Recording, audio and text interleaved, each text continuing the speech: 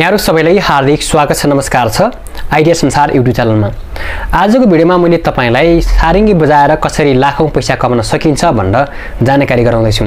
सर्वप्रथम तपाईँले यो भिडियो हेर्दै हुनुहुन्छ भने तपाईँको गाउँको सारङ्गी बजाउने दाईलाई सारङ्गी बजाउने बुबालाई सेयर गर्नुहोला ताकि उहाँले पनि यो आइडिया थाहा पाउन सक्नुहुन्छ। सारङ्गी बजाएर पैसा कसरी कमाइन्छ भनेर जान्नुभन्दा पहिले हामीले युट्युब टिकटक फेसबुक इन्स्टाग्राम लगायतका सामाजिक सञ्जालबाट मान्छेले कसरी पैसा कमाएका छन् भनेर जान्न जरुरी छ। हामीले देखिरहेका छौँ आफूले खाना पकाउँछन् खाना पकाएको भिडियो युट्युबमा हाल्छन् त्यताबाट भ्युज बटुल्छन् त्यताबाट आफ्नो विज्ञापन गर्छन् त्यताबाट मान्छेले पैसा कमाएका छन्। आफूले जे गर्छन् सामाजिक सञ्जालमा हालेका छन् आफू रमाएका छन् सामाजिक सञ्जालमा हालेका छन् त्यताबाट उनले भ्यू कमाउँछन् अनि त्यसपछि सँगसँगै पैसा पनि कमाउँछन्।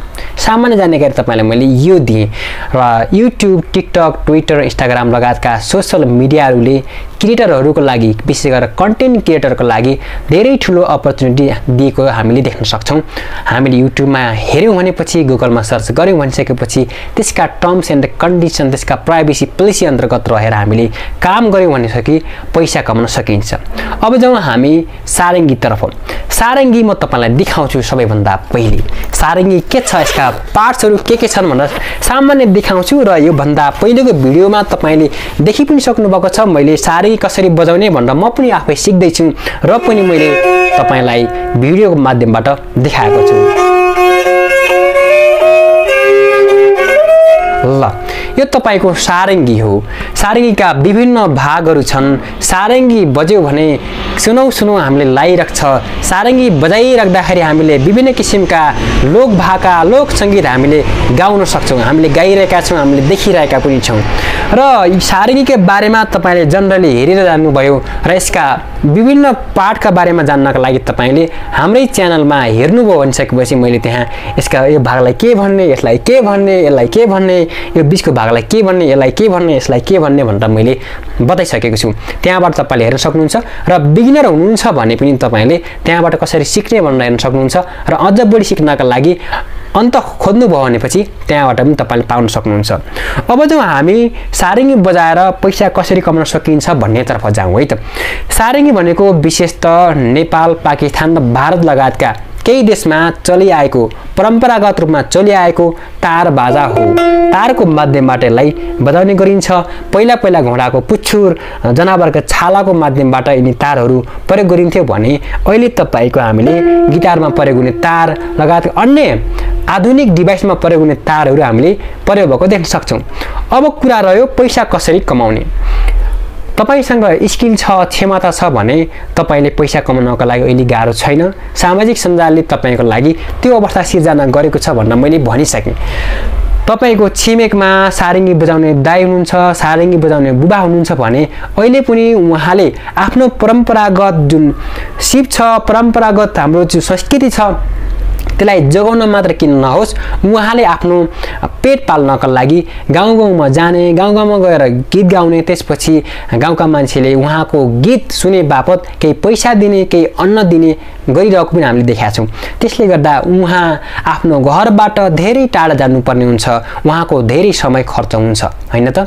त्यसले गर्दाखेरि अब तपाईँले के भन्नुपर्छ भन्दाखेरि अथवा तपाईँ सारङ्गी बजाउने बुबाकै छोरा हुनुहुन्छ भने पनि अथवा तपाईँ सारङ्गी बजाउने सिप छ भनेपछि तपाईँले सारङ्गी आफैले बजाएर सारङ्गी बजाउन सिकाएर सारङ्गी बजाउँदै गीत गाएर युट्युबमा हाल्नुभयो फेसबुकमा हाल्नुभयो भने तपाईँलाई पैसा प्राप्त हुनेछ। पैसा कसरी प्राप्त हुन्छ म तपाईँलाई जानकारी गराउँछु। नम्बर एक तपाईँलाई युट्युबले आफै पैसा दिनेछ। तपाईँको भिडियोमा धेरै भ्यू आयो। तपाईँको भिडियो धेरैले हेर्नुभयो भनिसकेपछि तपाईँलाई युट्युबले पैसा दिनेछ।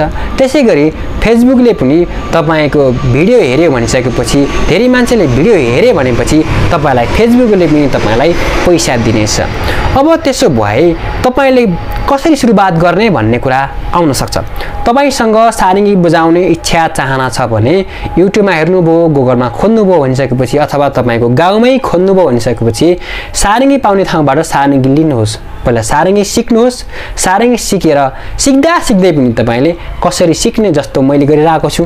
कसरी सिक्ने भनेर भिडियो गराउनुहोस्। त्यो भिडियो युट्युबमा हाल्नुहोस् फेसबुकमा हाल्नुहोस् त्यहाँबाट भ्युज कलेक्सन गर्नुहोस्।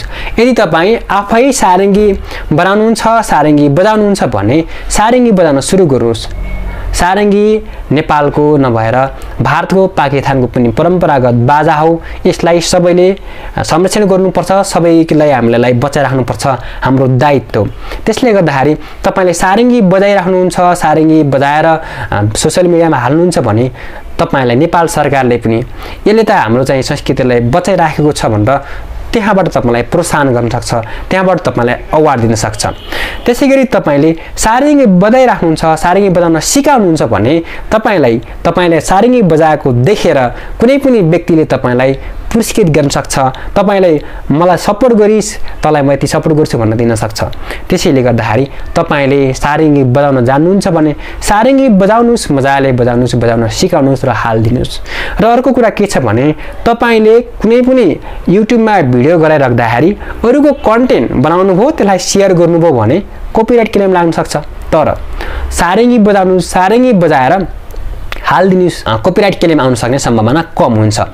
त्यसले गर्दाखेरि सारङ्गी बजाउनुहोस् कुनै एउटा गीत गाउनु सारङ्गी बजाउनुहोस् अरूलाई सिकाउनुहोस् त्यताबाट तपाईँले आम्दानी गर्न सक्नुहुन्छ।